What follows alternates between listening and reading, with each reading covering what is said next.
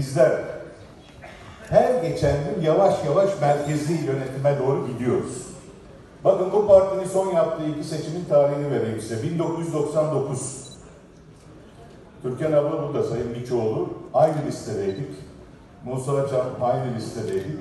Hepimiz ağlayarak eve döndük. Çünkü parti baraj altında kaldı. Sonrasında 2015. Yani tam 16 yıl sonra bir daha bir seçim oldu.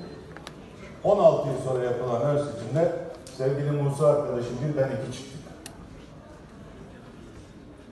İlk dönemimiz Musa arkadaşım benden bir dönem önce de yapmıştı. 2011'de. Ben il başkanıydım. Örgütün talebi olarak Musa Çam'ı genel merkeze il başkanı olarak ben önermiştim. İlk defa söylüyorum bunu burada. Sonra 2015'e girdiğinde Musa birinci olunca da dedim ki Taceddin Bayır il başkanı olarak doğru bir karar vermişsin. Doğru adamı önermişsin, çalışkan bir adamı önermişsin. Dedim kendi kendime. Yani onun arkasında kalmaktan bir hicap duymadım, bir üzüntü duymadım. Aksine çok mutlu oldum. Ve gerçekten kolektif bir çalışmayla köy köy İzmir'in 14 ilçesini altın üstüne getirdik çalışmalarda. İyi bir başarıydı bana göre. Birinci bölge 7, ikinci bölge 7, 14 milletvekili çıkarmıştık. Sevgili arkadaşlar bugün de 14 vekil çıkardık. Ama buna bir başarı diyemezsiniz. Ankara'ya gidince 14 vekil kalmadı, 10 vekil kaldı. 4 vekil eksildi arkadaşlar. Niye eksildiğini herhalde biliyorsunuz değil mi? Söylememe gerek var mı? Şimdi burada bu kürsüde çıkıp demokrasi konuşmak, parti içi demokrasiyi istemek, genel merkezde yönetici olduğu zaman farklı davranmak bize yakışmaz. Ben Sayın Tuncay Özkan evet Tüzük Kurultayı'nda 2018 ön seçim için el kaldırdı. Ama orada kurultay delegelerinin içinde el kaldırması benim için bir şey ifade etmez. Genel merkez yönetimi içerisinde genel başkan yardımcısıyken masaya yumruğu vuracaktı Sayın Özkan. Onu yapacak. Ve ben en fazla genel merkez yönetimi içinde en fazla güvendiğim, en fazla güvendiğim arkadaşım kendisidir. En fazla ona güveniyorum genel merkez yönetimi içinde. Çünkü 2011'de il başkanıyken defalarca hem Sayın Balbay için hem kendisi için otobüsler kaldırdık biz. Sizler sahip çıktınız onlara. O şekilde partiye milletvekili yaptık onları. Yani bizim sahip çıkıp taşıdığımız arkadaşların da bize sahip çıkmasını bekliyoruz. Bu bizim bu bizim doğal hakkımız. Bunu bunu görmedik Sayın Özkan. Derinlemesine konuşmak istemiyorum. Şimdi konuşmamın içerisinde sevgili arkadaşlar burada burada bakın şimdi bu konuşmanın bir tek nedeni var Sayın Özkan'ın burada olması. Keşke diğer genel merkez yöneticileri de burada olsaydı onlara da söyleyecek iki lafım var tabii. Ben çünkü 40 yıldır bu örgütte çapa yapmış bir adamım.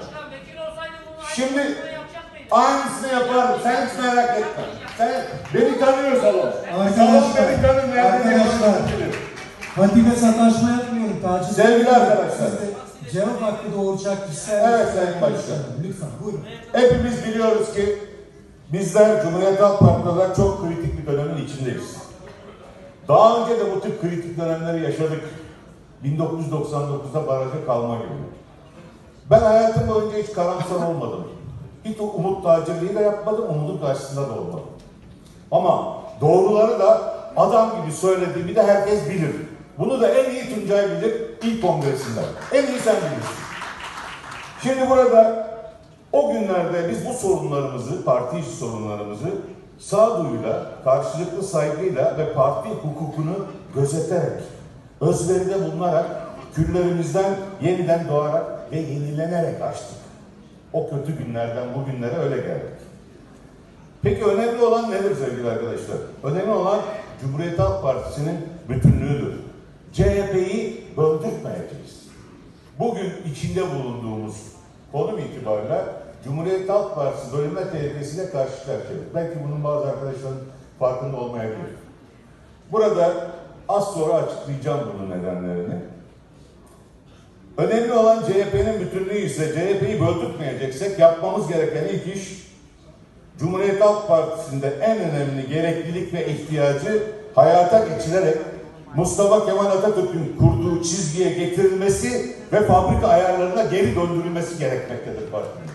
Yapılması gereken budur arkadaşlar. Tabii ki bu fabrika ayarlarından dönüşünden kastettiğim şey partiyi yöneten bazı yüzlerin değişerek veya değiştirilerek aynı rotada devam etmesi değildir. Önemli olan rotayı laiklik ilkesinden saptıran o çarkın dişlilerinin değişmesi gerekmektedir. O çarkın dişlerini değiştireceğiz arkadaşlar. Sayın Genel Başkanımız Kemal Kılıçdaroğlu'nun seçim dönemindeki çalışması ve performansıyla ilgili hiç kimse bir şey söyleyemez. Söylenirse bu büyük haksızlık olur. Şunu da ifade etmek gerekir ki burası Cumhuriyet Halk Partisi. Biz tek adam partisi değiliz. Tabii ki gerekirse genel başkanımızı da eleştirebilmeliyiz. 1983 yılında Cumhuriyet Halk Partisi kapalı olduğu için SODEP'te başladığım siyasi yaşamımda 40 yılı geri bıraktım arkadaşlar. Bugüne kadar yeni 7 genel başkan ile çalıştım. Sayın Kılıçdaroğlu 8. genel başkan. Bakınız sadece 17 yıl Deniz Baykal Parti'nin başında kaldı. Sayın Kılıçdaroğlu da 13 yıl, zaten iki lider 30 yıl kalmışlar. Arada kalıyor 10 yıllık bir süreç, 10 yıllık süreçte de 6 genel başkan değiştirmişiz. Aslında geriye dönüp baktığımızda o kadar çok genel başkan değiştirmişiz ki ama bu değişimlerin hiçbirisi bize iktidara getirmemiş. Getiremez. El yapın iktidar olamamışız. Demek ki mesele sadece genel başkan değişince iktidar olunuyor denilemez. Sadece tek bir ismin değişmesiyle bir şey ifade etmez. Anlayış